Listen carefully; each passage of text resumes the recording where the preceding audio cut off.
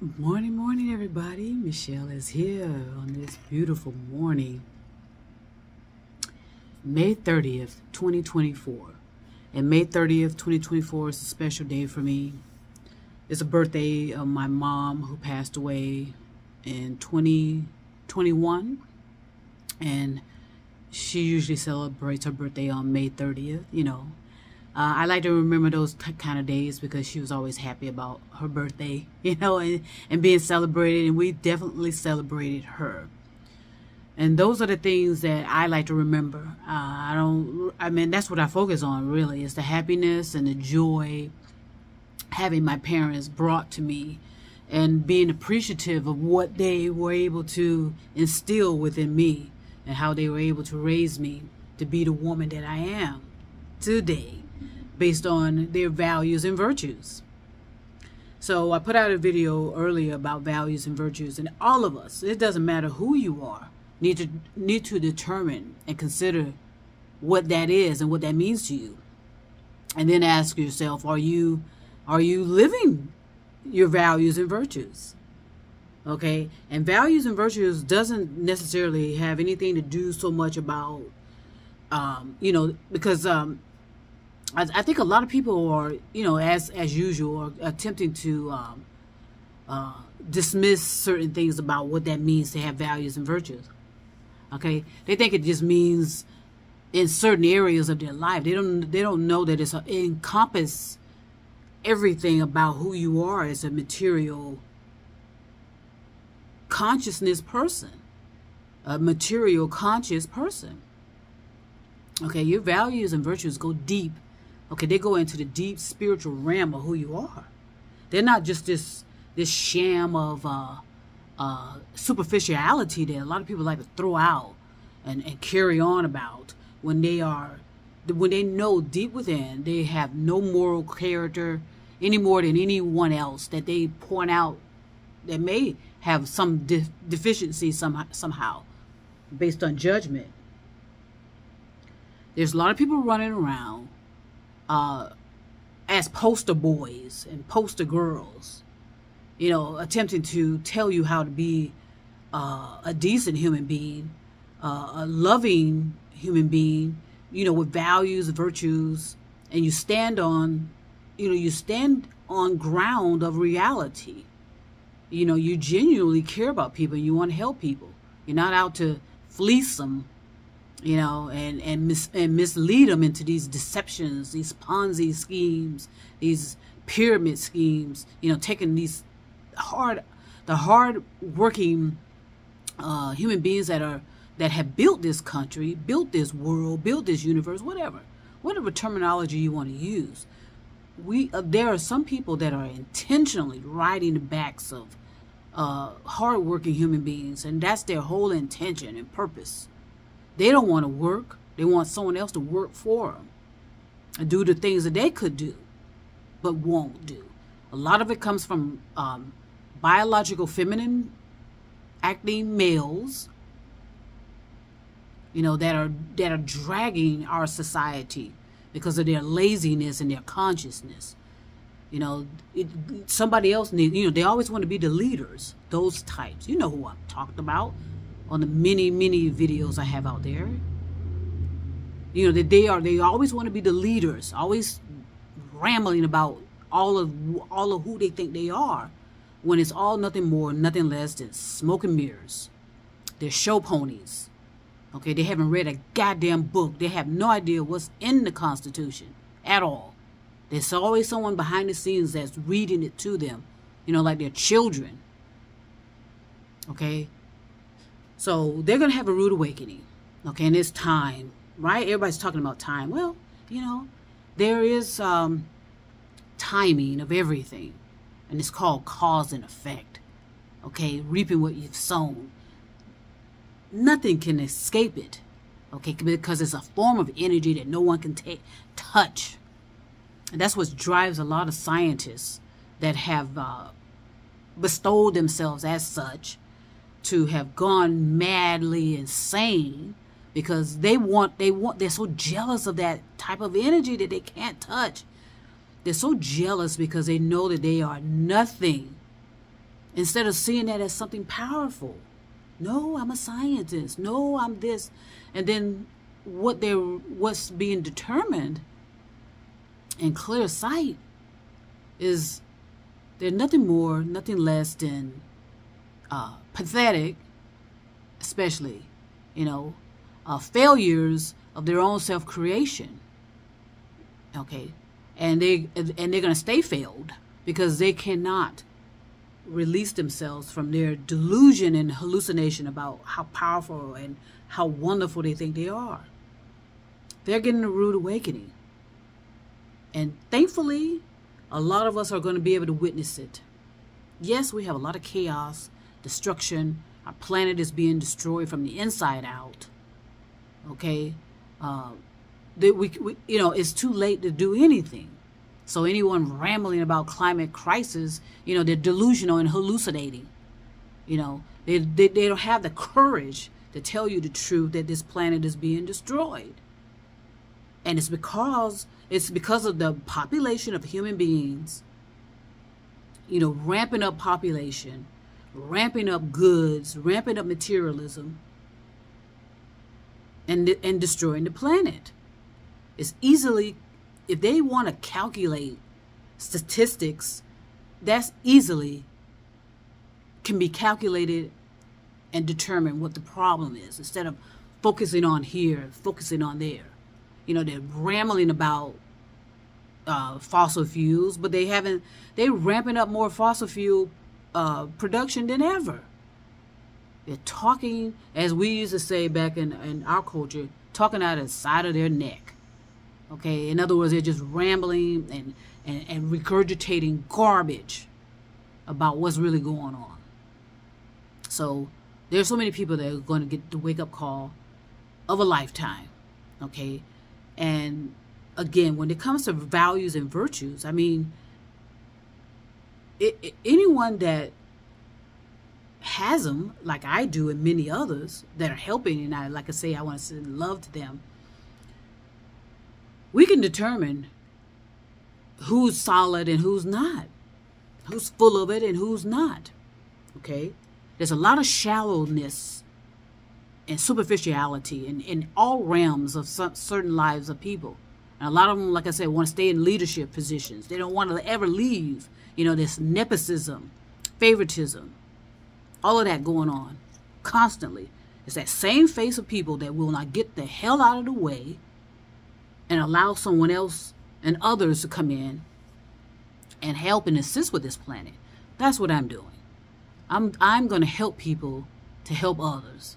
How about that? Again, let's go back to something um, like virtues. It says here, I'm just pulling it up. It says virtues is a trait of excellence, including traits that may be moral, social, or intellectual okay? It's the cultivation and refinement of virtues that is held to be the good of, of humanity. Now, how many of you scientists out there are doing things for the good of humanity? How many of you politicians are doing things for the good of humanity? Okay, you can't fool your consciousness. So if you come out and, and talk all sophisticated and lying out of your mouth about what you're doing, that's going to come back and haunt you. Okay? I know a lot of people have had enough, right? Of of especially on the political realm of this back and forth. If it's not one thing, it's it's another. The spinning of words, the spinning of information, intentionally causing confusion and divisiveness. But a lot of us are clever enough, or I should say, uh, let's say it, a lot of us are more concerned about the realities of our situations and we can see through all of it it's my point we know what's going on but we know and anybody that's attempting to help somebody or to teach somebody or whatever your the terms you want to use you know you need to be strategic about it okay simpleness doesn't exist in a lot of uh, realities of a lot of people a lot of people are living complicated, self-created, complicated lives. And they just need some guidance to, to unravel themselves out of that. That's what I plan to do as well. And it starts with how you're thinking. How are you thinking? And a lot of people don't understand thinking at all. A lot of people don't understand consciousness, most definitely. And we've allowed so many things to be meshed together where it's just nothing but simple confusion. Simple confusion. And so I hope to unsimplify that for a lot of people. And I will. And I know others are. And I, like I said, I want to say, send out love, universal love to those of you that understand, eh, like a lot of people say, are saying, understand the assignment. I, I, I, genuinely hope, and I, and I say this because you just never know what someone's intentions are. Unless you can go inside someone's brains and in their thoughts. You know what I mean? And, and which is not, which you cannot do. Let me make that very clear. You know, I said that before. So, like I said, sometimes you have to put out pieces and see how people respond to it. Your thoughts come from your what? Your consciousness. Ideas come from your consciousness. And no scientist, no matter how crazy they are, because most of them are, cannot touch it. Sorry. So that's why some you know, some idiot acting, behaving, quote unquote, whoever they are, believes that okay, let me just put a probe in the in the brain and see if we can get those thoughts. Okay, you're gonna be sadly confused and sadly disappointed because the mind, the brain, the circuits in there have functions for the physical, not the spiritual. Hello? Are you there? Are you listening? Are you paying attention? That probe is only, that probe is similar to having, having an electrical outlet such. That probe is just like adding another electrical outlet and plugging it into the same, what? Brain. That probe that is being lodged in, in the brains of victims. Gosh, they're being vict. Sometimes victims get victimized over and over and over and over and over again. And you know why? It's because they're they're unconscious and in their uh, realities. They're not paying attention. Mean, let's be clear. They're unconscious, so they don't know what is happening to them. They they they believe that people have their best interests. No, there's a reason why certain people keep being victimized over and over and over and over. Everyone it's like every so often they're always having to be saved or rescued. That's going to be hard, brutal honesty that a lot of people are going to have to accept about their realities, that they are self creating it. That's harsh for some people to take. But truth is, the truth can be harsh. Okay? There's no if you are a victim over and over and over and over and over, that's something happening within you, but you may be unconscious and don't realize that's what's happening. Be kind and gentle when you take on brutal honesty like that. I'm not in other words, take it off the personal and see if you can strip yourself of all of this ego-based uh, existence and realize that you are more than just your ego. Your ego is there for a reason. Okay, we are spiritual.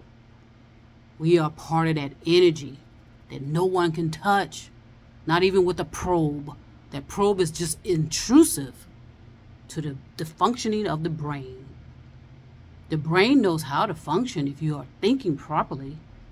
But when once you go in there and start interfering, which has been happening for decades upon decades upon decades, hundreds, maybe thousands of years of interference, some people are going to be reaping the benefit, uh, reaping the uh, um, the devastation of that. Okay, because they were not doing that for the good of humanity. They was doing that for the good of their ego. Okay, so now a, a certain races of people are going to be disappearing and eliminating themselves. Figure it out. It's not rocket science. Okay, it's not.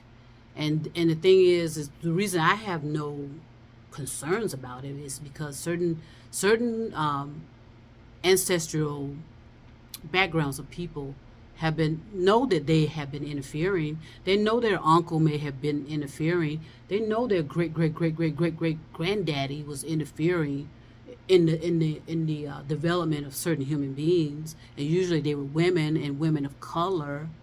Hello, is being discovered and being uncovered and being unearthed.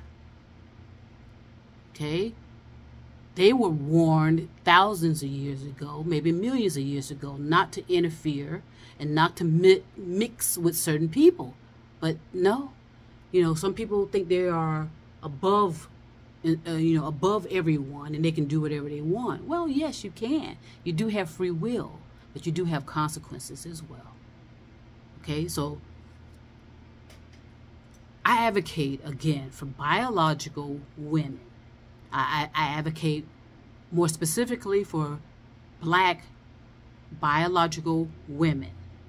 Okay, and my mission is to help to repair the co- the consciousness.